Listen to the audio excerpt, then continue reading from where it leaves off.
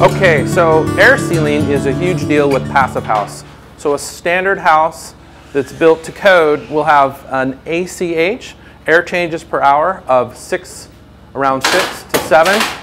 With a passive house, we need to achieve a 0.6 or better air changes per hour. And that's a measure of how tightly the building's been constructed.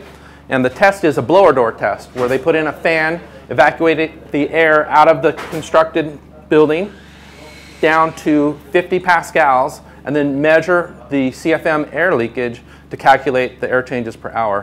So this house that we built, our preliminary blower door test achieved a 0.51, which we're very excited about.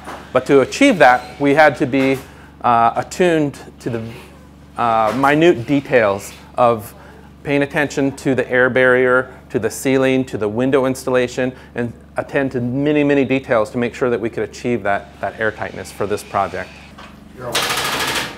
So our primary air barrier for the Pitney project is Henry's Blueskin, which is our weather barrier and air barrier uh, applied to the exterior of the sheeting of the house.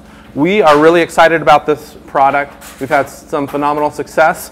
One of the benefits of the Henry's Blueskin is that it has a sticky back, so a clear uh, plastic film that we remove, apply it to the sheeting, pressurize it. Let me give you a little demonstration of one of the reasons that we're pretty excited about the Blueskin and how it performs. All right, so a cup of water, and then we apply the Blueskin to the cup of water. Very, oh, don't stick it to itself.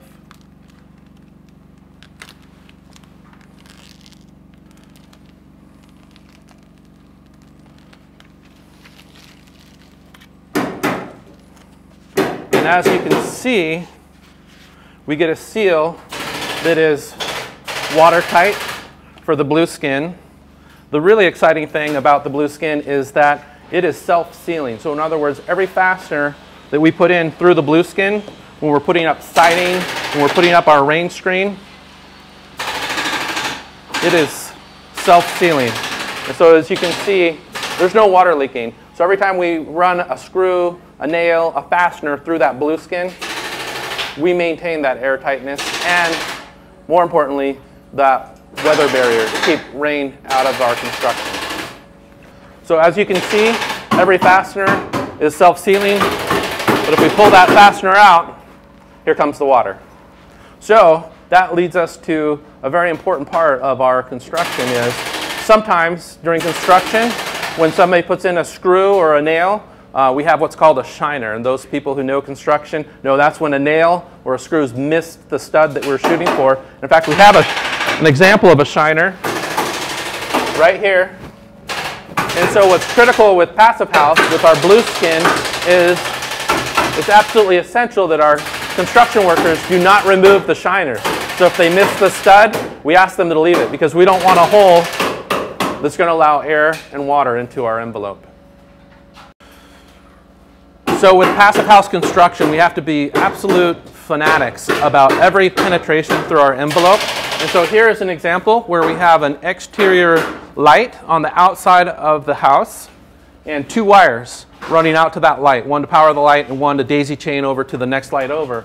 And so where these wires run out through the Blueskin, we use a butyl tape product from Henry's company to seal the wire on the outside. At Cellar Ridge, we're a firm believer in the belt and suspenders approach. When it comes to air sealing, we want to be uh, certain that we've sealed every penetration. So on the inside of the envelope, where the hole goes through for the wires to reach the outside, we apply silicone into that hole create an air seal on the interior to couple with the butyl tape on the outside of the building.